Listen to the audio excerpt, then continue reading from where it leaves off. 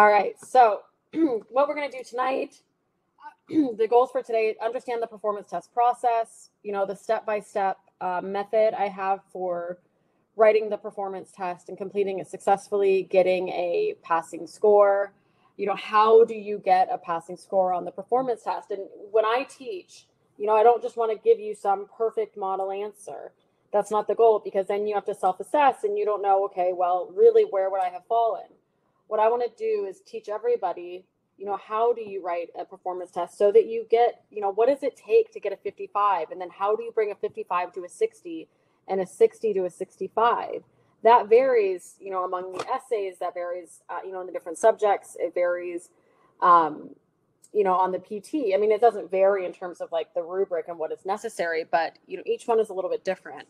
So it's it's helpful. I really want to walk you through step by step and show you a large variety of um, of tasks and um, just some kind of important things with respect to the performance test tonight. So we are first going to talk about the process. We're going to talk about how, and when I say how the performance test is written, what I'm referring to here is you know how the bar examiners when they are putting it together, what are they thinking about? Why are they doing certain things? When you understand how it's put together, you can then learn how to pull it apart. And so that's one of the things that I want to talk about. And I go in depth in this stuff in my Mastering the PT course, which starts next Thursday on the 8th. And then also, how do you uh, understand how, and I have a little typo, how to organize a PT? Just making some edits to this earlier. All right, so this is the performance test process. I think I have each of these. Okay. So I'm going to overview, I'm going to give you a brief overview of this, and then um, I'll talk about each of these a little bit more in depth as well. So the very first document that you have, um, the very first document that you have within a performance task is what we call the task memo. That is where you are given your task. Most of you, I think, know this. Um, you want to review the task memo and you want to identify what's the tone, is it objective or persuasive, who, who is the audience, who are you writing to, so you can understand you know is are you speaking with somebody um, that's a bit more sophisticated like another lawyer that understands certain things or you speak certain things? Are you speaking with a client who's less sophisticated um, and doesn't understand um, you know legal stuff so you have to really write a little bit more simply? Um, are you writing to the court which requires a bit more formality etc and then what are you preparing? What's the product what's the product? So are you writing a memo? Are you writing a brief? Are you writing a letter to a client a letter to opposing counsel?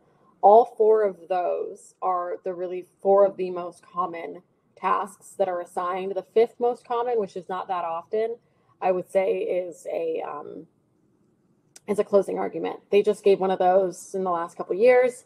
Um, and even that it's not really that different so review the task memo, identify uh, the tone, which means is it objective or is it persuasive? Identify the audience, who are you writing to? What's the product? What are you preparing? Also make note of any organizing principles. So how will you organize the bulk of your PT, the analysis section or the argument section? How will you do that? And then are there any special instructions? Like if they tell you to write a statement of facts or if they tell you, um, you know, to include a short, uh, brief answer, a short answer at the beginning of each section to each of the questions. So there are sometimes things like that that they will ask you to do. So are there any special instructions? Next, I want you to set up the PT skeletal outline. So that after you review the task memo, if I know I'm writing a memo, I'm going to go do my memo setup. If I know I'm writing a letter to opposing counsel, I'm going to do that setup to make it look like the letter. The, and at this point, I'm going to add also a really quick intro, a really quick conclusion just one little note on that. You know, it doesn't necessarily, some things I want to talk about, I want to talk about. Um, but, and I go into this in a lot of depth. Um, I go into this in a lot of depth in the actual course. But one thing is, is if you are someone that knows that you do not finish performance tests, there are certain things from this that you will have to cut.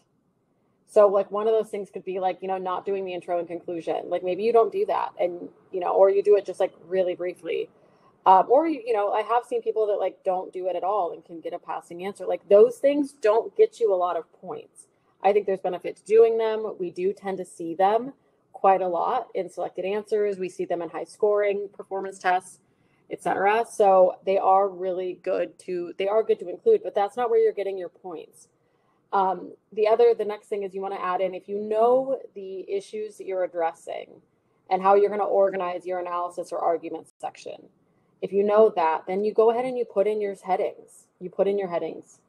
And if you don't have your organizing principles, but you know that you are going to get them from some document in the file, so from a letter or a motion, something like that, you want to go and actually read that next. So set it up um, and maybe quickly go look at that document so that you can get your headings. They might say something in the task memo like, um, they might say something like, uh, you know, please respond to clients' questions that are that are summarized at the end of my interview with the client. So I'm going to quickly go look at that. They've done that. They also might say, please respond to each claim from the complaint. Then go look at that. That's how you're going to organize. After you do that, you do a quick skim of the file. We'll walk through this. You're just trying to get like a sense for the what what we have and how big the file is. Um, and that's it. You make a couple of quick notes as you're going through it. Spend about five minutes doing that. And oftentimes, for me personally, I can get through these steps one through one through three really quickly. Especially if you get used to doing this stuff, you get used to following these steps. You can do this incredibly, incredibly quickly.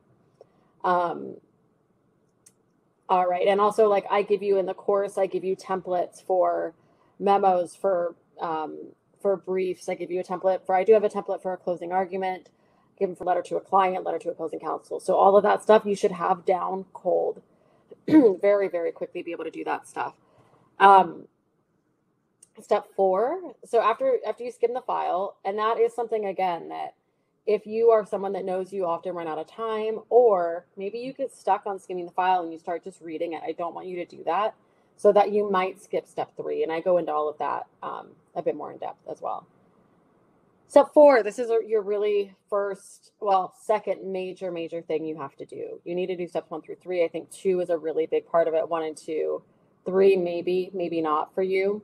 Um, but the next big thing is to skim and read the library. And when I say skim, you know, it's a little bit, um, um, when I say skim, I'll show you what that means. But you're just really trying to get a sense of, uh, you're trying to identify what did they give you everything in the library for like why did they give this to you and you're trying to find the really important stuff you're trying to figure out um, you know you're trying to find where are the rules that govern and where is the analysis that the court did you want to identify those two things and i'm going to show you how to do that you really want to focus in on the analysis of each case and oftentimes and, and like you always start with you know skipping over the facts of the case you always always like 99% of the time i never read the facts of the case because um, it just you don't need to because the really important facts are within the analysis. Sometimes I'll go back and read them, um, you know, but it's very very rare. Um, and like, and, and what I'm talking about right now is like, what do you need to do to just get a passing score, right? To just get that 65. If I want to go, you know, if I have time and I'm like, all right, I can really push this, I might go back and read the facts from, and this is from the cases in the library I might go back and read those and add more depth and like add more facts so that I can like analogize. Not like, and I probably wouldn't add it into my actual performance test, but I would read it so I and then use those to compare the facts of my case even more. I want to deepen my analysis. So you want to, but I want you in this step four, and I want everybody, you know, when you're first doing this, I want everybody. My goal is for you guys first to be able to get, you know, a 55 and then a 60 and then a 65 and then go higher than that and then go higher than that. So it's this very incremental process that I want um, that I want people to engage in. I know there's a hand up, but I actually can't. For some reason, it's if I if I call on you, then um, then it actually lets you control my screen. But can you just type me a message? All right. Um, so read each case with a purpose. And the purpose is why did they give me this case? You have to know that the bar graders gave you the cases for a very particular reason. And that's what they want you to use it for.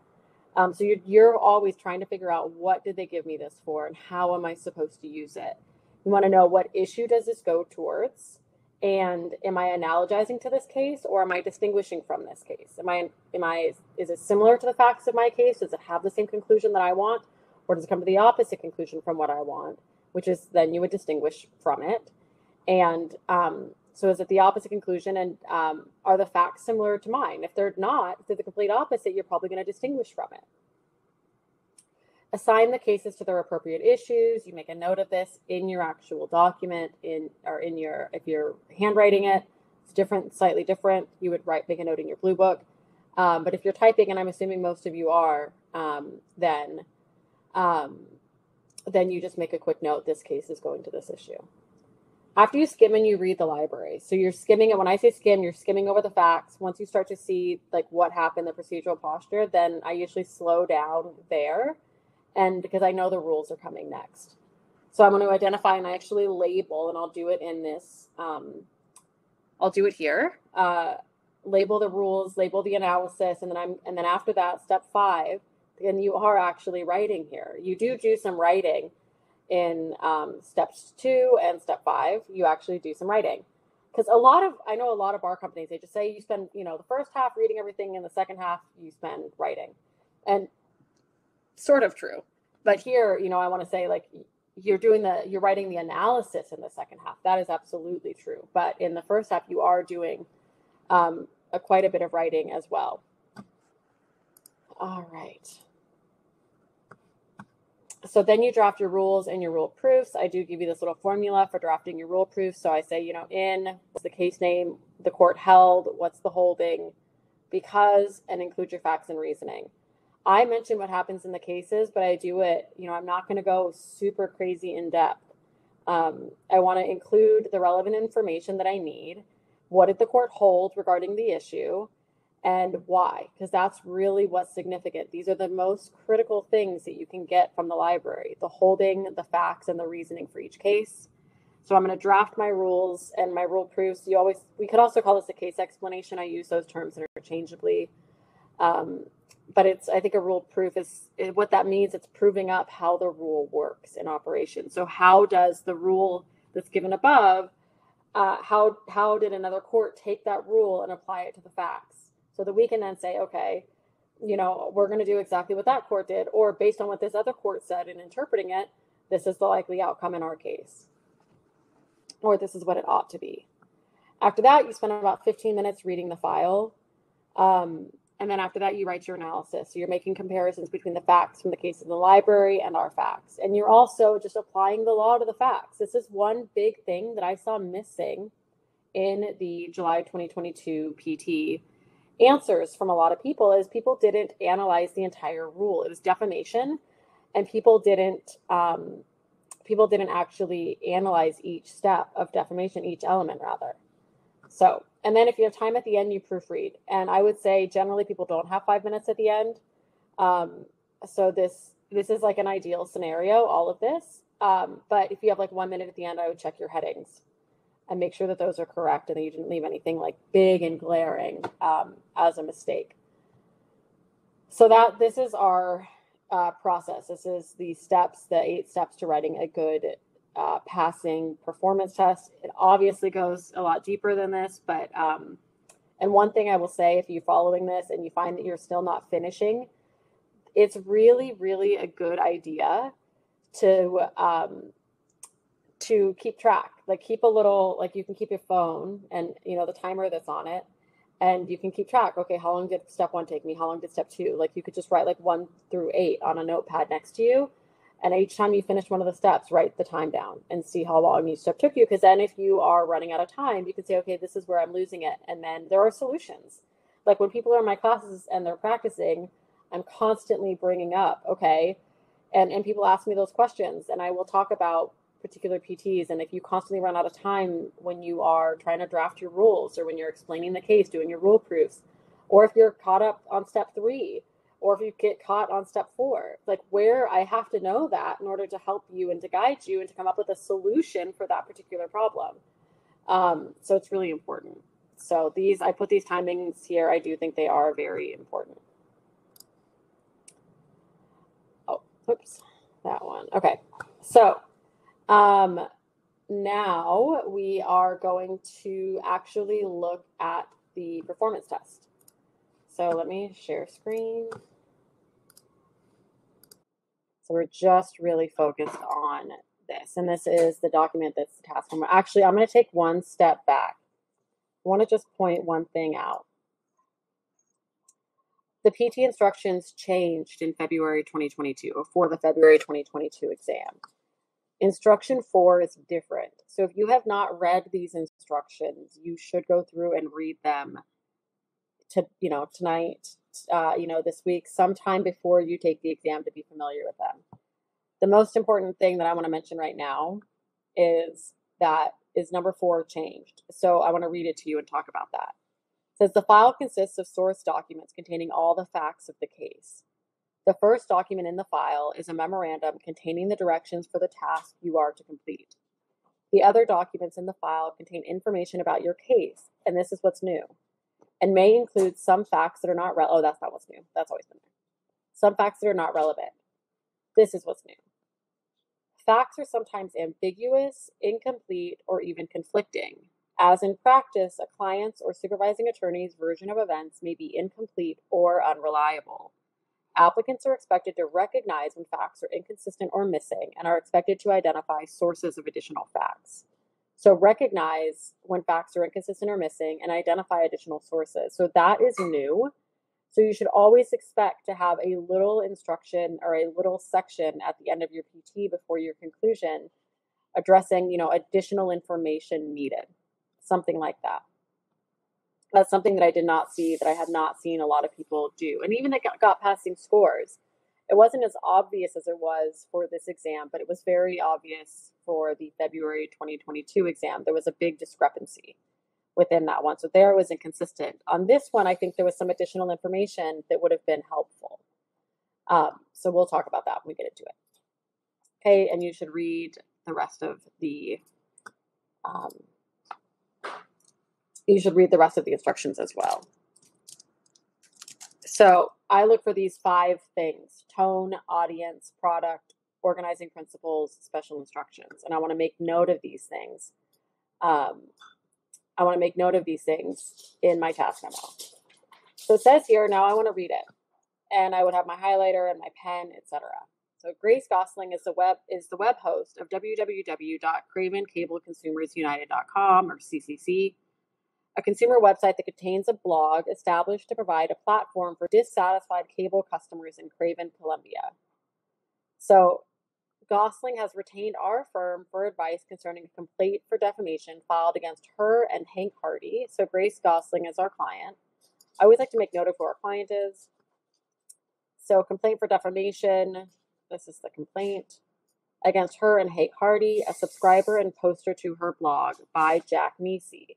He's the plaintiff. And I like to make notes here. So here, plaintiff, Grace is the defendant. That's the suit, defendant. Client, my dog is barking. He doesn't like that our client is being sued. All right. Um, all right. Nisi claims that both Gosling and Hardy are liable as a result of statements Hardy posted about him to Gosling's blog. All right, so I am preparing. I love when task memos are like this um, because they give you the issues and it makes it so nice and straightforward. So it says here, I am preparing to meet with Gosling about Nisi's complaint. To help me prepare for the meeting, please draft an objective memorandum that discusses, I love this because it gives me a ton of good information. That discusses one, whether Nisi would prove that Hardy's statements, as quoted in the complaint, so quoted in the complaint, and note that these are statements, there are two, there are two, which tells me I want to separate these out probably, were defamatory if he were to prove the facts alleged, and two, whether Gosling is immune from liability for Hardy's allegedly defamatory statements. So I have two issues. Do not draft a separate statement of facts, but use the facts in your discussion. So now let me, there we go. So I want to make note here. What's the tone?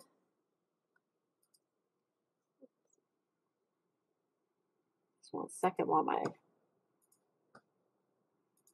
tone is objective, right? My audience, my audience, I'm writing to my boss, Carmen Cardinal. There's so, so many C's here. Craven Columbia, Carmen Cardinal, Craven Cable Consumers.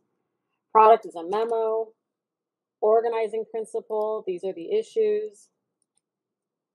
And special instructions, no statement of facts.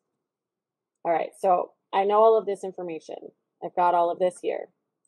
All right, so then step two is to set up my skeletal outline. This is a memo. So I do my two from date ray. It's objective.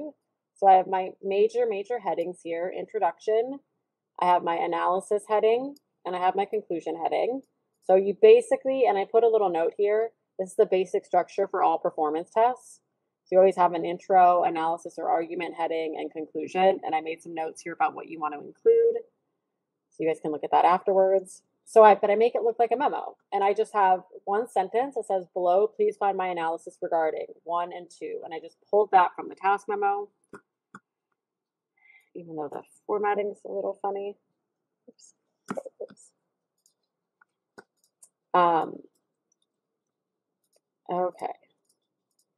So I put those in here. So whether it needs to be proof party statements as quoted in the complaint uh, were defamatory if he would approve the facts alleged, and B, whether Gosling is immune from liability for Hardy's allegedly defamatory statements. So I looked at these. One thing to note here, it says in here the statements as quoted in the complaint. So I just want to, I don't know how many there are. So I want to just go look at that really quickly and then I'll come back. So, you know, I'm like skipping, skimming. I don't see statements yet, but if we go down here, we see these, there's two statements, A and B. So I, I might at this point put in headings here. Statement one, statement two. I'm gonna because I want to address these separately because there are two, and I want to make sure I want to make sure that I address both of them, right? So like one thing that everybody should know, and I like I'm guilty of this too, is we we so often think that we are going to remember things that we don't. So it's it's easy to be like, yeah, I'll remember that. But then you come down to it and you start writing and you get in the groove of things and you don't separate these things out. And maybe then you forget to analyze something that you meant to analyze. Um, it's really, really common. That's why, like in MBEs, it's important to take notes. And, you know, when you're doing the essays, it's important to like walk through so many of these things because we forget, and you're in the under the stress of the exam, it makes things difficult. So I put my headings in here. I'm like, okay, there are two statements. I like to analyze things separately because each one is a separate defamation potentially. So I'd want to pay attention to that. All right. So I have that. Next thing I'm going to do so this this my, my step two is done. So the next thing I want to do is I want to skim through the file. And when I am skimming, I'm just trying to see what I have here. And I'm when I'm skimming, I'm just looking at things that jump off the page to me. So anything that's like big and bold and in quotes, like you know, symbols and you know, stuff like that, that it looks like they're trying to get my attention. This doesn't look that significant, but I always do like to say, um, what this is. And the reason I make a note in the top right corner is because I usually, when I'm um, like what I teach, and you can bring these in in California, is you use those little plastic paper clips. They're called plastic clips. And you can bring those in. You can't bring in metal paper clips, but you can bring in plastic ones. And I put one of those on each page of a new document just to kind of stay organized. And that way, when I'm like flipping to find something, I can find things really easily and I just look at the top right corner. Not a big deal, but it's something that like I found helpful and when I was practicing, I did that a lot. Um so I like to do that. So this is just a blog excerpt. Nothing really jumps out off the page, but says here oppose rate increase. So we want to oppose the rate increase. So I do see that. I make note of that. There's some dates here, and then I see the comments. Um, uh, Oh, and then I see here, here's the comment from Hank Hardy. There's one, and then there's another one. Um, a couple of comments. I don't want to dig into this stuff quite yet um, because I'm going to get into that. I don't really understand the significance of all the facts. Yes, I'm familiar with defamation, obviously, as are all of you. Um, but I don't know like what I really need to focus on just yet. So skim through the file. So I, I have there's the blog excerpt goes on to the next page. And then I have here, I have the complaint. And I'm not going to read this yet. I'm just kind of skimming to say, what do I have? And I think I really got the significant stuff probably. Um, but I'm just going to look when I skim. I might read, you know, I'm generally just reading the first line, not the first sentence, but the first line of each paragraph, This is plaintiff Jack Nisi is a private individual. Nisi has worked as an independent television producer for 20 years. Defendant Grace Gosling is an individual and is now at an all-time. So this is just giving some of the background information. Defendant Hank Hardy is an individual and is now okay. He's a defendant. And then we have, um, uh, then we have here the two statements. Okay. And then we have here facts. This is what a lot of people didn't use. The statements refer to Nisi by name and address. So that's telling us this is getting into the other elements of defamation. The statements quoted in paragraph five are false as they pertain to Nisi, among other things. So he's stating that they are false. They refer to him, so it's a statement about him. Um, the statements quoted in paragraph five were seen and read by Nisi's neighbors. This is a publication to a third party. And then injury, causation and injury. So as a proximate result. So we have here all of these other facts that relate to the other elements, or well, we have paragraph seven, which deals with falsity, which I, am assuming that most of you here took the, the July exam. Um, and the big issue with uh, the first, the big issue for issue A here is were the statements false, right? He and there's a question is, well, are they actually false statements or are they opinion? So that was one of the big issues. And you can see here that there is an emphasis on the falsity component because look at how how big paragraph 7 is as opposed to paragraph 8 or anything else. Also, the library is dedicated largely um, to that issue. Um, well, half of it. So then we have the rest of these. So that's just a complaint, and that's it. So that is it. So the next thing we are going to do, we are going to skim and read the library. And when I do this, I make a little note next to every paragraph with what it's about. Each paragraph serves one purpose, basically. So I want to pay close attention to that. And I'm going to skim until I note it, notice where I really need to read. Um, and I'm not going to be doing any writing in my actual document. And, and for you all, this would be your actual answer in Examplify, ExamSoft Examplify. All right. I always, again, write the name of the case in the top right corner. I might make a couple of notes here about what I want to use the case for when I'm done. All right. So this case arises, and so I'm going to skim right? So I'm going to read the first line of each paragraph. This one happens just to be one complete sentence, but it often isn't. You you keep going if you know that it's like this is just facts. And then once I start getting to the procedure, I know they're going to then give me the rules and the analysis, and that's really where I want to slow down. That's really where I want to slow down. Um, all right, this says this case arises from an aborted sale of a wig by Wilma Walsh to Ann Anderson. I'm like, all right. I'm an aborted sale of a wig. So this is facts. I label it. Okay, thereafter, Walsh authored a lengthy statement about the sale on an online consumer blog. Ripoff Report, okay. The one thing I will say is that when I'm skimming, if I think if I see things that are in quotes, I often want to pay, um, pay attention to that. So it says, prefaced by the words "facts" were two alleged, allegedly, def- and like allegedly defamatory statements. So this has the word, this has this highlighted. So I do want to pay attention to that and there's two statements. So Ann Anderson, who works for the Astoria Building Department, wrote an unauthorized check for a wig from her boyfriend's account, and at the bottom wrote that it was for a prosthetic donation. So this looks, you know, when I'm thinking, okay, defamation, this is pretty serious. This is stated like really written as though it's true, factual statements. And then two, Ann Anderson brought to court a made up document from FedEx stating that Walsh had opened the package, saw what was in it, and gave it back to FedEx.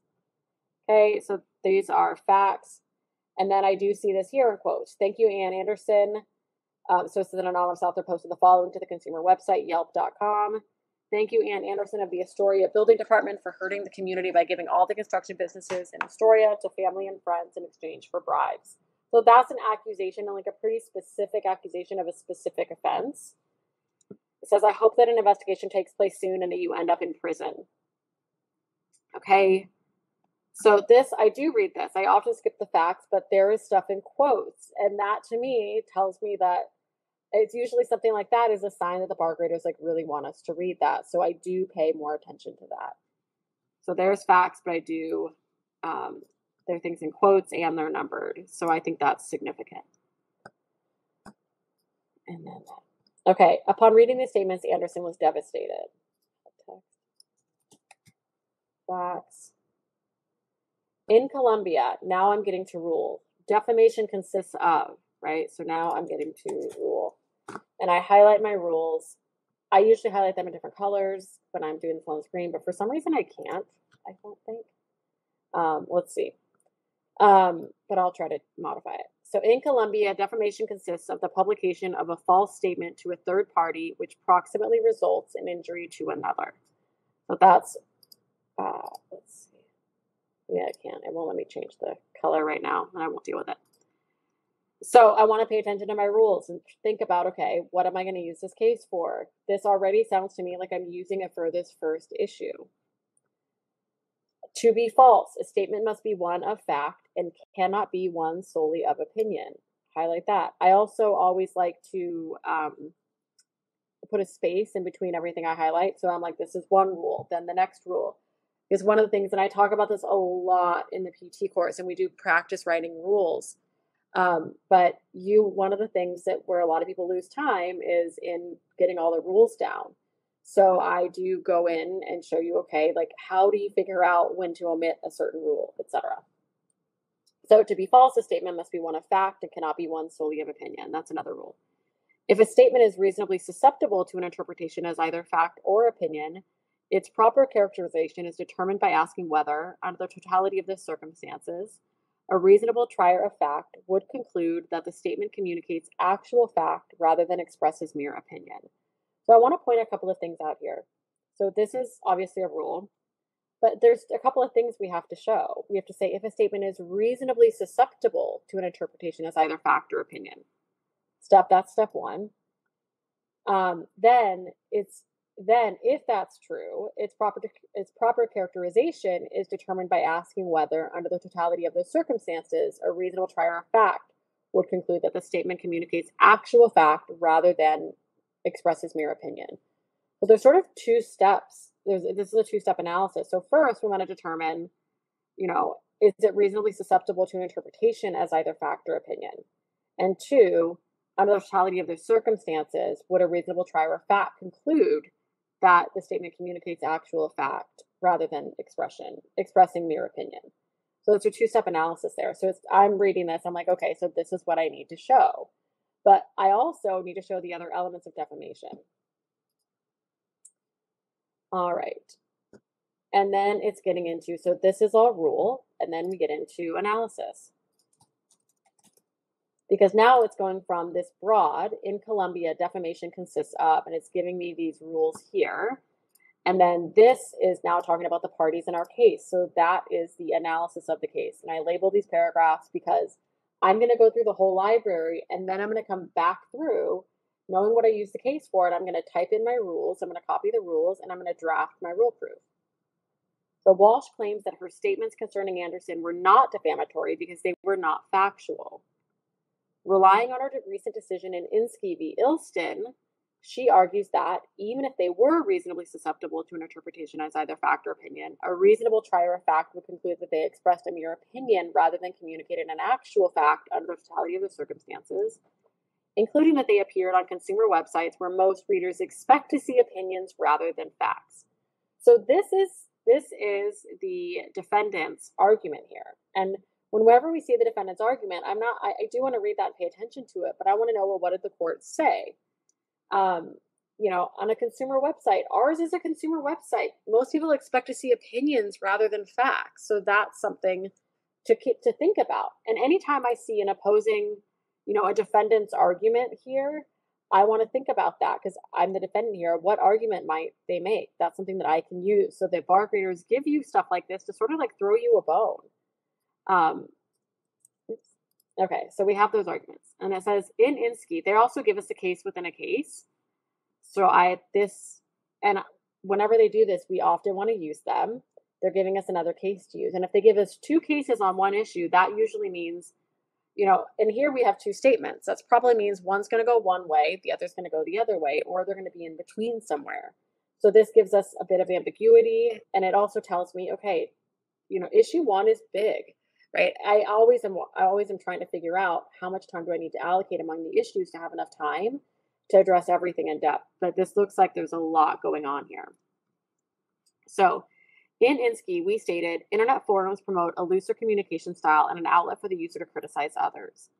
Users are able to engage freely in informal debate and criticism, leading many to substitute gossip for accurate reporting and adopt a provocative tone. There, we held that, under the totality of the circumstances, a reasonable trier of fact would conclude that a statement posted online calling company executives liars, losers, and crooks expressed mere opinion rather than communicated actual fact. So here is so we have Inskeep, and I'm going to make a note here. Inskeep rule, and then analysis of Inskeep. The, and the holding of Inskeep.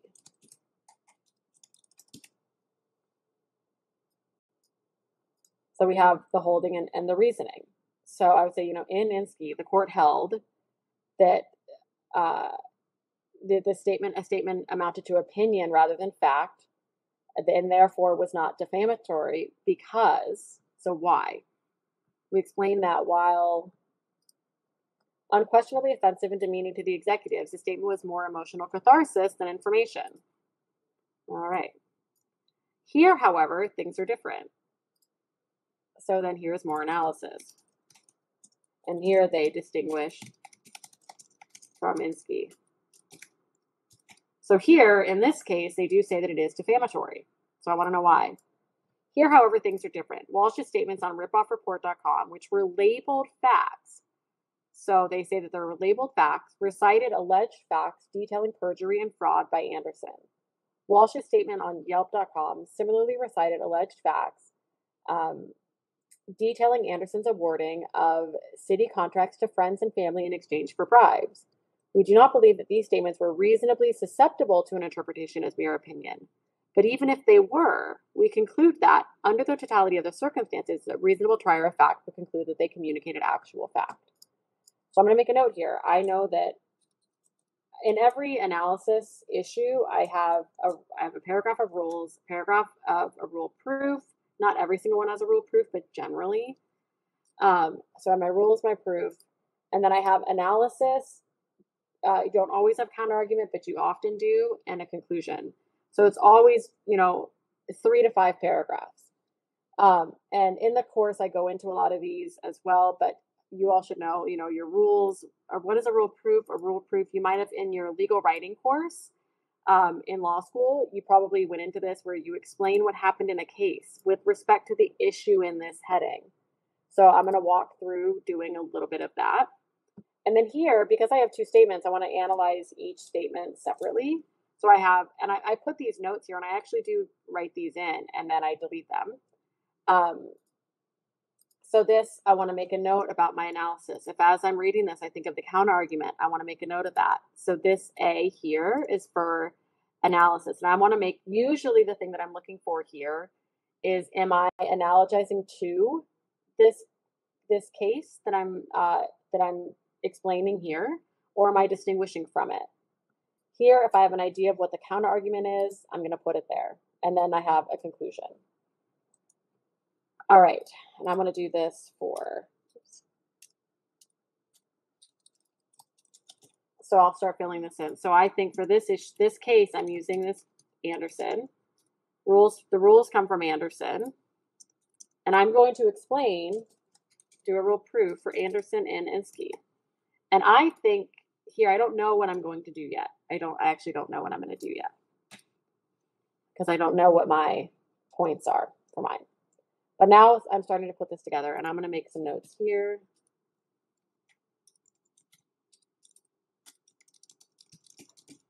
Let me just pause to check to see if there was any questions. All right, so I'm going to keep going. Let's go on to the next case.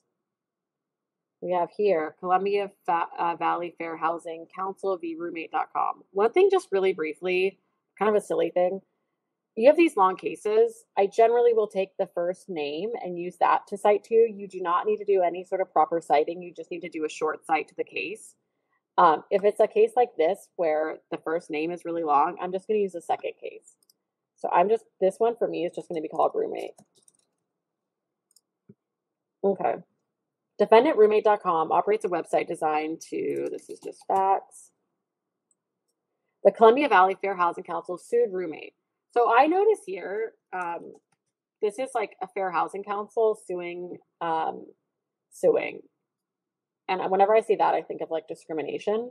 So, all right. Um, then I see here the legislative the legislature enacted Section 230 to protect websites. So here I'm getting into rule. And this is again where I'm going to start reading. So the legislature enacted Section 230 to protect websites from liability for including or failing to remove actionable content in order to preserve the free flowing nature of internet speech and commerce without unduly prejudicing the enforcement of other important laws. So that's policy. Um, that's something to be aware of. Um, policy is not necessarily a rule. Policy tells us why we have a rule. It says ruled, but that's okay we don't care, right? You guys know I meant rules. But here I want to make a note that this is policy. To that section, to that end, Section 230 immunizes internet computer service providers from liability arising from content created by third parties. But it does not immunize information content providers from liability nor does it immunize interactive computer service providers from liability to the extent that they act as information content providers. So we have a lot of rule here. And one thing that's really important, and I go into this, we don't have time to go into it tonight, but I go into it in the course. It's one of those like deeper things that we spend time doing. Um, is there's a ton of rule in here. And oftentimes if you have trouble finishing PTs and partly if it's if you get stuck at the step where you are writing your rules and your rule proofs, for a lot of people, it's like there's just too much rule and they can't get it all down. So it's a skill and it has to be practiced of editing down your rules for concision, really thinking about what you need to have. Oftentimes, if I'm doing it and it's because i practice this, um, I can take all these rules and sort of put them together into one sentence and make it a lot shorter. Um, but for the most part, I just want you to copy the rules over. That are all the rules that are necessary. So let's keep going. An interactive computer service provider is a person or entity that enables computer access by multiple users to a computer server. An information content provider is a person or entity that is responsible in whole or in part for the creation or development of content. Thus, an interactive computer service provider passively displays content that may be actively created or developed by an information content provider whereas an information content provider actively creates or develops content that may be passively displayed by an interactive computer service provider. Okay, so like a lot, a lot of rule here. Against this background, we examine whether roommate is entitled to immunity under Section 230 for three specific functions the council alleges violate housing discrimination law. So here, I want to note one major difference. Here, and I was thinking discrimination above, and now we see this here. This is housing discrimination. We know that like there are things that even private people can't do um, in housing, making a housing decision that you can't discriminate. So, um, so here it's which is going to be pretty different, I think, from ours. I know ours deals with like a you know a cable thing, right? So, so I think that's going to be a massive distinction um, here. So, three specific functions. So the fact that they're giving us three specific functions and they break this down into three things means that I might um, I might want to have analyze each of these things. I'm probably going to have to. So I'm thinking, oh my gosh, there's actually a lot. So I thought issue one was really big, but issue two is also really big. There's a, there's just a lot in here. This is a really racehorsey PT. So let's get into this. So there's going to be we have to determine are they an information content provider or an information service, whatever it is. Um, so we have to distinct, we have to determine that. So one, roommates questions to pro- to prospective subscribers during the registration process, requiring them to disclose and therefore be subject to discri- discrimination for their gender, family status, and sexual orientation. That's number one. So this is I want to look. We are because they're giving us these three specific functions. We are probably going to have to analyze those three specific functions for our client as well. So, and I want to know what they held. So, because Roommate designed its website registration process around the questionnaire and choice of answers containing discriminatory categories, so they designed its website registration problem process around the questionnaire. and the questionnaire had them disclose certain things so gender family status sexual orientation so those are super private things um, and they designed the website around that uh, the registration process around the questionnaire and the choice of answers which contain discriminatory categories so that's really problematic um, so roommate is the information content provider of the questions and can claim no immunity so here no immunity here so let's add text.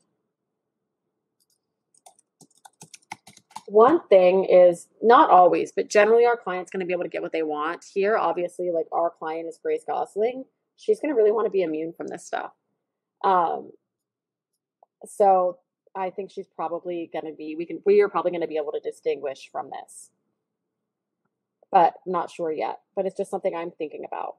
Roommates development and display of subscribers discriminatory preferences. So development, development and display of discriminatory preferences. If an, indi- if an individual queries for a roommate of a particular gender using a search engine that does not contribute to but provides only neutral tools to carry out to carry out what may be unlawful searches, the search engine has not engaged in development for purposes of Section 230.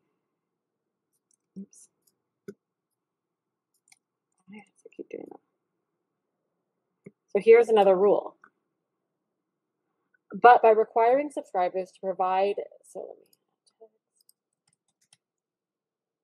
but by requiring subscribers to provide their preferences using a limited set of pre-populated answers as a condition of accessing its service, Roommate is more than a passive displayer of information created by others. It becomes, at least in part, a developer of that information. Discriminatory questions solicit and thereby develop discriminatory answers. Here, Roommate designed a search to limit the listing available to subscribers based on gender, sexual orientation, and presence of children. Roommate both elicits the allegedly illegal content and makes use of it in conducting its business. Roommate's work in developing the discriminatory questions, answers, and search mechanism, and in enforcing a system that subjects subscribers to allegedly discriminatory housing practices. And that I think is a little bit key. You know, is is the fact that they're using all of this and they're subjecting subscribers to discriminatory housing practices because they're creating basically an entire system for people to discriminate against who they want to live with based on these protected protected categories. So that renders it an information content provider and as such not eligible for immunity. So there's rule here, um, not immune. One thing I want to point out too, because there's these three bases that um, the functions so we want to analyze these three functions. If you look at how deep each function is, right? This first one is just a small paragraph. Second one is a really big paragraph. And they note one thing too. I'm going to show you like one thing with it here. You know, if an individual cares for a roommate of a particular gender that does not contribute to provides only neutral tools. So they give us this, they give us this very specific thing regarding gender. And even though in roommate there was gender, it was um, uh, sexual orientation and presence of children, all three of those. But they say they also say here that if it's just gender and it there are neutral tools, then that's okay. You haven't engaged in development. And ours, you know, not surprising, just has gender, but there's a little bit of information missing. Um, so let's go to the next one.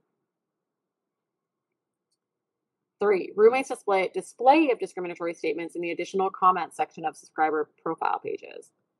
So roommate encourages subscribers to personalize their profiles by writing additional comments about themselves and their desired roommate in a blank text box at the end of the registration process and publishes these comments without revision. It is not responsible in whole or in part for the development of the content. This is precisely the kind of situation for which Section 230 was designed to provide immunity. So here there is immunity. So the third function is just additional comments. Okay, and then they say one final note. We must keep in mind that the legislature enacted Section 230 to protect websites from liability for including or failing to remove actionable content. Close cases must be resolved in favor of immunity, lest websites be forced to face death by 10,000 cuts, fighting off a barrage of claims that they've created or developed actionable content. Such an interpretation is consistent with the intent of the legislature to preserve the free flowing nature of internet speech and commerce without unduly prejudicing the enforcement of other important laws. So here we have some policy. that we often want to incorporate. Really strong answers will incorporate the policy. Usually I use it in a counter argument. Um, but I have all of these functions. So here I think, okay, rules for this are coming from roommate. I'm going to have a rule proof from roommate. Oops. And here I'm going to have an analysis for function one. Oops. Uh, analysis paragraph for function two, an analysis paragraph for function three. All right, let me just check in with you all, see how everybody's doing. Okay. So now I'm going to go back and I'm going to start. So I have this whole setup here, right? And so I know exactly what I'm using. I know where I'm using it. I don't know about writing my analysis, but like this is why, you know, here I'm making decisions. I'm going to have a paragraph on this, a paragraph on this, a paragraph on this. And I want to note here, like this second one is where there is the most discussion in that case. So that's probably my biggest issue. This is probably the biggest issue on the second part, third, second biggest issue, and first biggest issue or sorry, first, second, third. You deal with it all in order, but like it's good to just be aware of your time and be like, I know I need to get through issue one really quickly, or like this function one quickly, probably. Function two looks like it might be a little bit more difficult. Function three, you know, looks, you know, medium. So, although functions one and three sort of look basically the same. And three seems really straightforward to me because it's like they grant immunity and ours probably does the same thing. So, all right. Now I want to go back and start writing my rules and drafting my rule proofs, which, like a little miracle, guess what? It's already done. Oh, that's, oh, skip that. I did it live. So I would go back and I would type in my rules. A couple of quick notes on writing my rules. Um, oh, oops, forget to break this out. I did. I'll just scroll. So I put in my rules after every single sentence, I have a cite. And this is also Anderson. So just to show and just to show that I am using the right cases, I also think underlining stands out more than italicizing. So I underline instead of putting in parentheses or whatever. However you're used to doing it is fine. On the performance test, I don't use id just because if you change something around or move it, then it can be unclear. So I just I never use it. I'm just in the habit of always writing. Um, I've just always like typing it out. I also think sometimes people will like copy and paste, and I just think that that takes too long. I generally on the bar don't use copy and paste just like at all. Um, so I type in my rules from Anderson, and then I write my rule proof. So, and I do give you this formula, but I say uh, what, and the, the key thing, and I we in the course we will practice this a lot. I will give everybody an opportunity several times to write rule proofs. You send it to me in the chat as a DM, and I give everybody feedback. Like in class, I just give verbal feedback yes, no, tweak this, do this. And then I will also provide, you will see what I wrote, but you will also see what other people in the class wrote. So you can have some good examples that way. All right, so I say what happened in Anderson. So in Anderson, that first case, what did the court hold with respect to this issue? The court held um, uh, so the court held a reasonable trier of fact would conclude an internet user statements communicated actual facts and were therefore defamatory because the statement was labeled as facts, recited alleged specific facts detailing the plaintiff's awarding of city contracts to friends and family in exchange for bribes. So that's why. What did they hold? They said yes, defamation.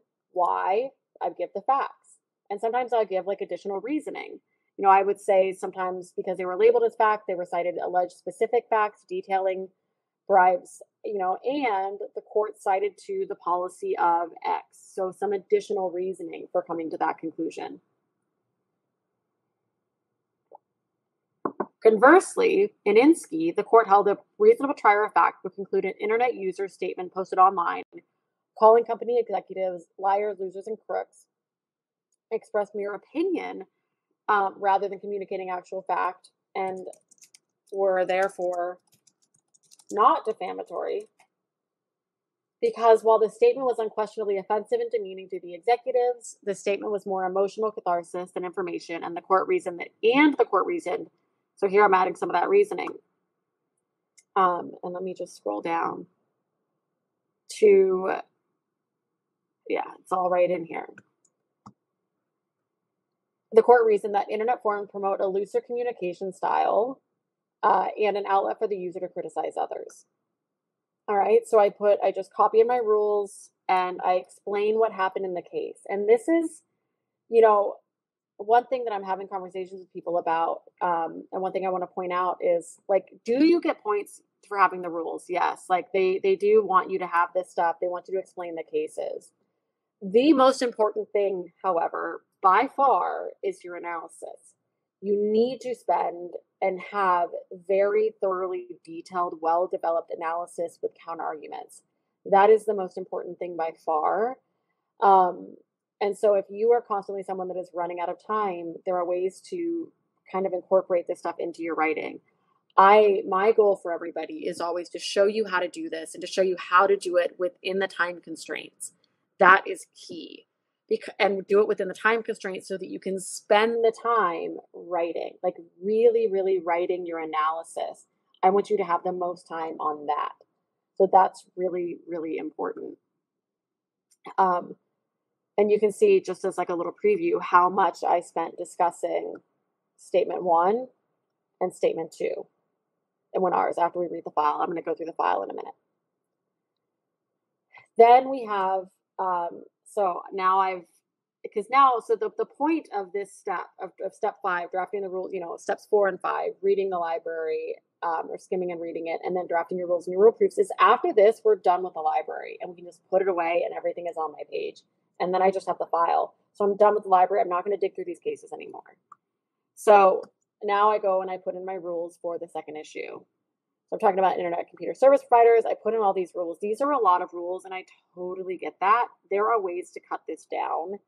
Um, that is like a whole part of another class that and those classes are three hours whereas tonight's really like 90 minutes um, so yeah so that is something that that is necessary but for those of you you know that are just here we're going to watch this later. Um, i want you to know that like you know you don't always have to include every single rule. Sometimes and honestly quite frequently rules are repeated.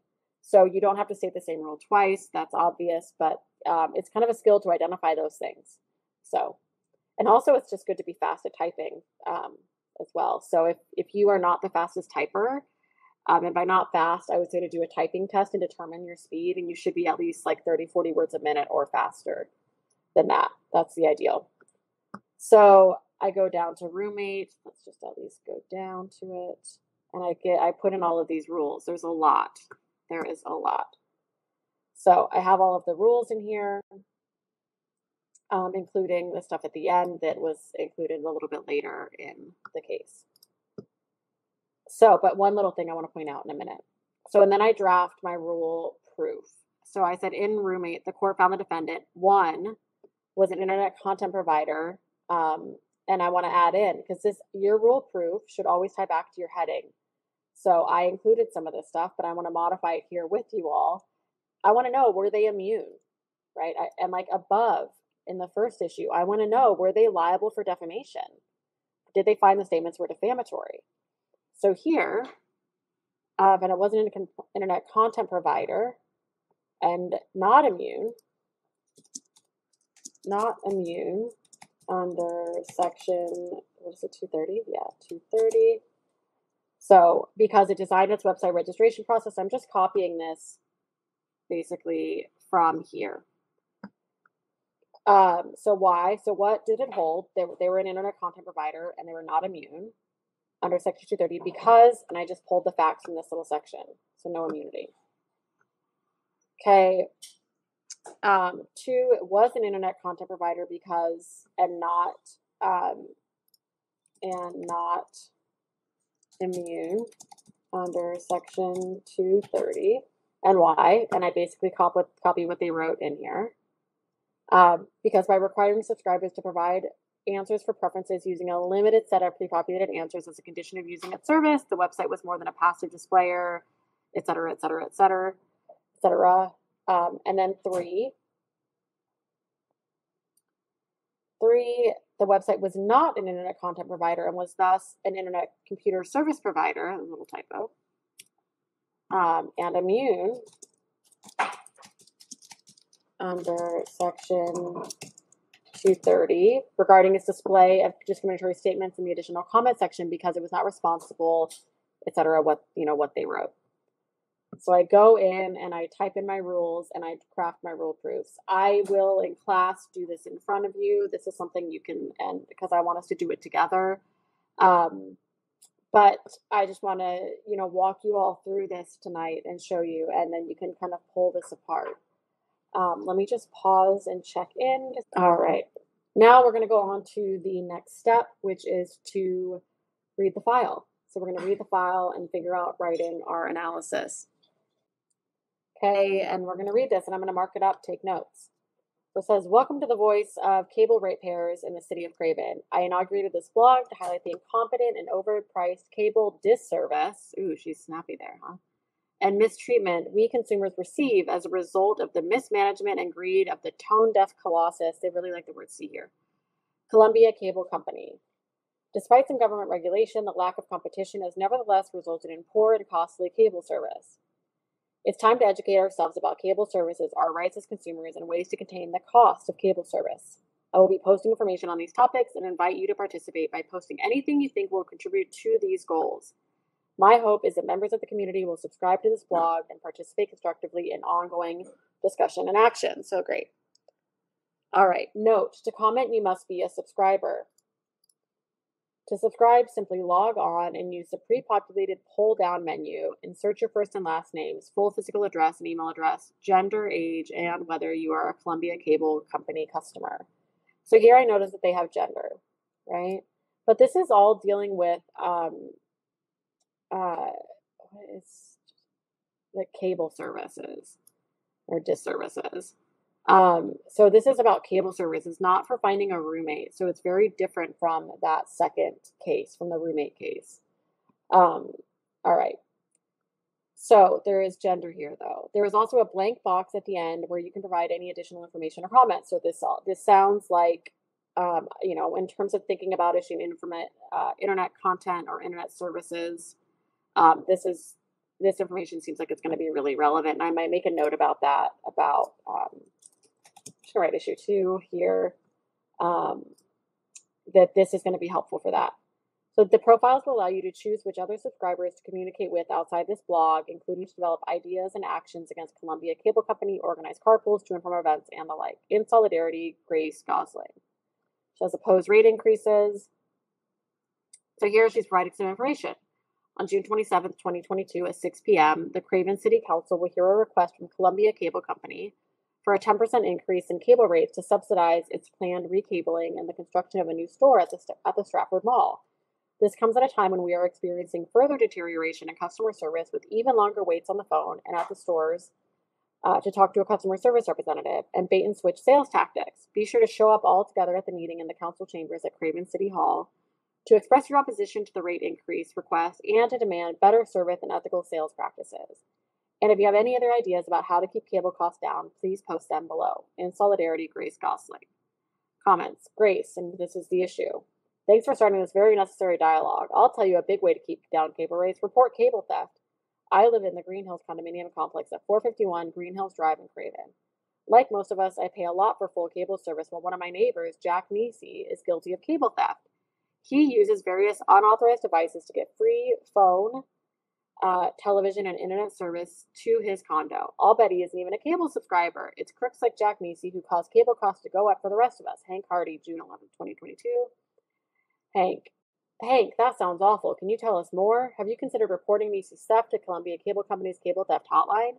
So, a couple things I want to point out first. So, we have this first statement, right? This is our first statement. And I'm reading it and thinking, okay, well, how does this compare to that the statement in the first case in Anderson.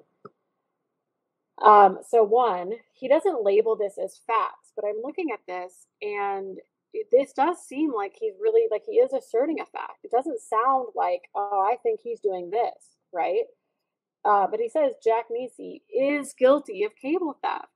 He uses various unauthorized devices to get free phone, television, and internet service to his condo.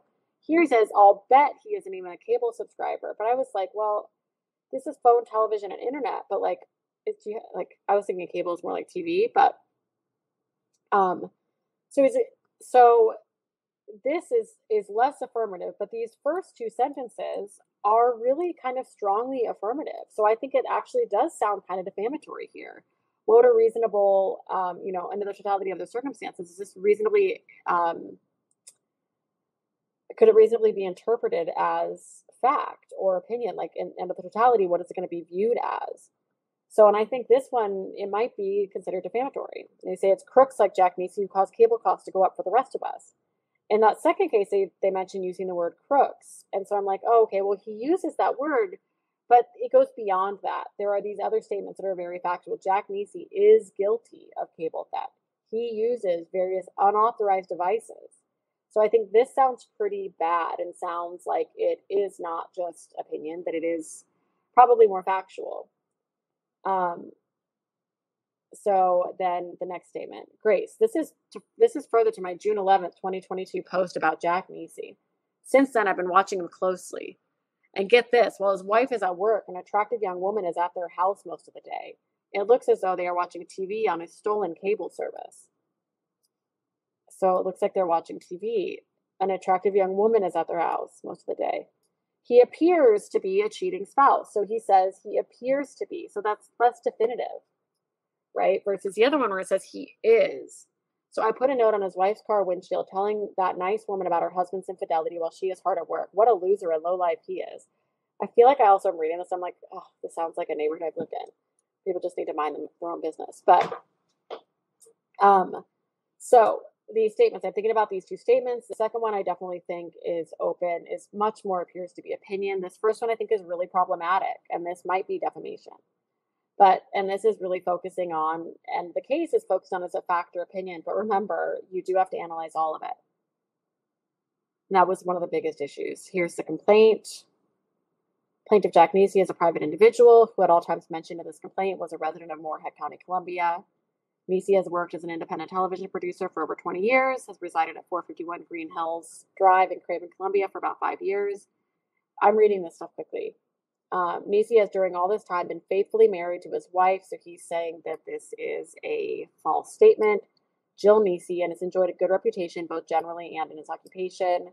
So he's enjoyed a good reputation. So this that is saying that that goes to whether or not he's had damage to his reputation. Defendant Grace Gosling is an individual and is now and at all times mentioned as complaint has been a resident of Moorhead County, Columbia. She is the web host of www.cravencableconsumersunited.com which contains a blog. As such, she has unlawfully caused and is legally responsible for the injury to Nisi as alleged in this complaint. Defendant Hank Hardy is an individual. I'm not. I'm going to skip this because, but I just want to show you they're they are alleging all of the elements here. I won't read all of that. Then they go and they cite these two statements, so they're repeating the statements again.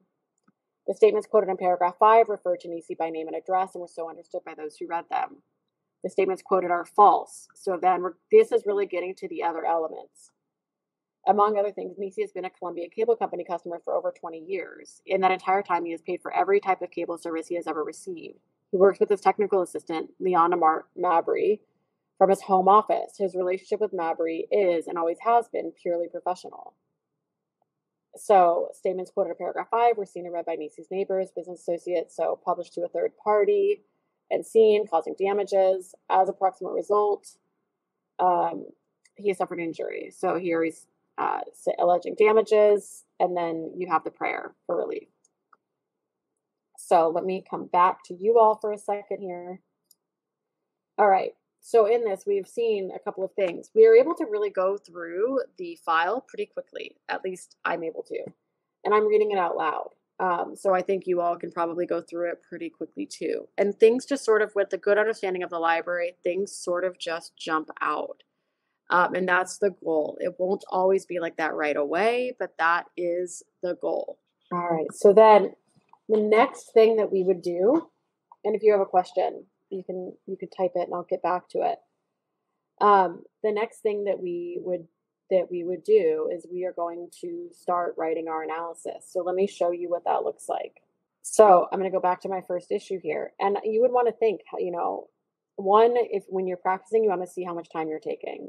Two, you want to focus and you want to have, you do want to have a solid amount of time. But we are always going to make comparisons. We're going to directly compare the facts of our case to the facts of the cases in the library. So I'm always going to start and I'm going to cite to the cases, like this statement in Anderson, which alleged specific facts. Hardy's statement here also alleges with specificity because Hardy said Jack Nisi is guilty of cable theft and he uses various unauthorized devices to get free phone, television, internet services. The specificity, so now I'm explaining what is significant about that. The specificity contained in these statements come across as factual assertion, and nothing suggests they are merely opinions. Why? Uh, because they don't express any doubt. I don't know. Although they are not labeled facts, as in Anderson, the affirmative way in which Hardy, um, in which Hardy writes, does not appear open to interpretation as anything other than fact.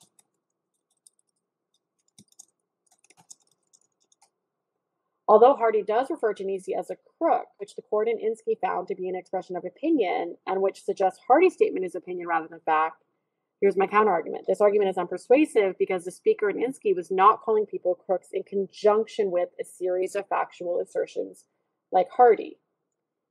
All right, so I, I deal with that. So this is um, so the fact that he does use that word crook. So maybe this is just you know um, emotional catharsis like in Inskeep. Um, so I say go back. Well, Hardy's statement here echoes the statements in both Anderson and Inskeep because here, and this is really common, I think this one it could kind of go either way, but I really think this statement is more defamatory. And if any of you struggled with this, I actually had a hard time like like well, which way does it go? And it like I sat for a minute and like thought through it, and which means you could really go either way. Um, while Hardy's statement here echoes the statements of both Anderson and Inskeep, a court considering the totality of the circumstances, I'm making sure that I'm addressing every component of the rule. So is it reasonable? Is it reasonably open to interpretation? I say, yeah, you know, it could be. And then, you know, if so, um, what is it? What is, you know, under the totality of the circumstances, what is it going to be found to be? So here I thought it would be more likely to be found to be factual. So while Hardy's statement here echoes the statements in both Anderson and Inskeep, a court considering the totality of the circumstances is more likely to find Nisi's statement is fact rather than opinion because there shouldn't be a comma there. Hardy's comments here do not amount to mere criticism because Hardy asserts Nisi is to blame for the rise of costs on a website designed to critique the Columbia Cable Company. If a court were to find that the statement were factual, um, there would also be publication to a third party because it was posted on 3cu.com Additionally, Nisi alleges he has suffered injury in his complaint. Therefore, the and I'm addressing that because you have to address all of defamation. Thus, Nisi can likely prove Hardy's statement regarding cable theft amounted to defamation because the statement is likely to be found fact and the other elements for defamation are satisfied,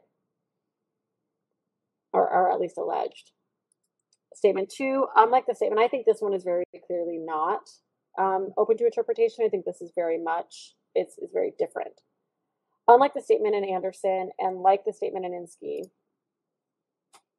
the statement regarding Nisi cheating on his wife is likely to be construed as opinion rather than fact because Hardy states that it appears as though Nisi is a cheating spouse rather than stating Nisi is actually a cheating spouse and offered and he offers evidence as to why he believes Nisi cheated, which lacks the specific factual assertion seen in Anderson and appears more like emotional catharsis for a man with a vendetta against Nisi. Um, given that this court is likely to find this statement opinion, Nisi cannot prove Hard, cannot prove Hardy's statement amounted to defamation, and then I have a conclusion overall. So I'm really walking through and comparing the facts of our case to the facts of the case, uh, the case uh, Anderson and the case within a case Inskeep. So I'm comparing, saying how ours are different. And a lot of people, and one thing I, I've seen in, in speaking with so many of, of the bar takers is that um, people didn't break apart these statements and they didn't actually address all of the elements of defamation, and that became problematic. So I broke down the statements, and then also people spent a lot of time on issue one and not so much on issue two, or vice versa. So then we have issue two. We have all the rules. We have that rule proof, and then um, and then I go through each of the functions. So the designing the website registration process around the questionnaire with discriminatory questions doesn't use them to further discrimination. And then um, this is the additional comment section. So I won't go through it. You can read that. Um, so one other little thing here I want to just mention is this is how you deal with the additional information. So based on the above, two pieces of additional information might be helpful. First, it would be helpful to ascertain whether the statements are in fact true. We can ascertain whether he's been a lifelong customer of CCC from CCC through discovery. I'm going to talk about the typos in a second. And could dispose his coworker to verify that he has not had an affair. Although Nisi claims these statements are false, it would be prudent to investigate these claims. Second, regarding the blog, it would be helpful to see whether the genu- gender options were limited or contained the variety of gender options we see um, a variety of gender options. I was thinking, I was like, is the bar trying to be like progressive or what? But I don't know. Um, I just thought about that. Um, and then I have my conclusion. Uh, oops. I'm so used to using Zoom. Okay, let me stop screen sharing. All right, so um, all of that answer will be posted, that step by step, so you can see it. I could go deeper into this. There, I like even as I'm going through and was talking to you guys tonight, I said, "Oh, I could talk about this. I could also talk about this." I had so much more I could do, but I wanted to give you all a realistic answer, one that I wrote under timed conditions, um, which I did. The other part of it is one thing I talk about a lot is not editing your PT to make it perfect, not editing your response. All you're trying to do is make a good first draft. That's it, like a decent first draft that is readable, that answers the questions and gets like the substance right you know, but that doesn't look perfect. You do not need it to look perfect. Mine, I have the, uh, mine has typos in it and it's fine, but they're not so distracting as to make it unreadable. I do notice them when I'm going through it, but all of you probably saw some. I will see them in here, and it's not a big deal. You can see that. Um, one other thing, I um, thank you all for coming. Thank you for sticking it out here with me. And um, this this will be posted to our website on our free workshops course. It should be posted to YouTube as well. And our um, our PT classes start uh, next week. So they start next Thursday. So I'll put a link there if you want to check it out. The class is four ninety nine, and you can split it up into payments. Um, I'll put the link for California in here to sign up. Does anybody have any questions? there is the um, there is the link if you want to go ahead and check that out. I also will be posting if you guys get like our newsletter. I will be posting some tips. I post on our blog. Um, I post to our blog, and I'm going to be writing some tips. I'm also going to be recording some little things we'll post on social media as well. Um, so be on the lookout for that stuff too. Thanks, everybody. Have a good night. And if you guys have a question that comes through after I sign off, um, I can still see those, and those do get emailed to me so that I can make sure that we get a response. If you need anything, um, you can still type it in the chat here. But thanks, everybody. Have a really lovely evening.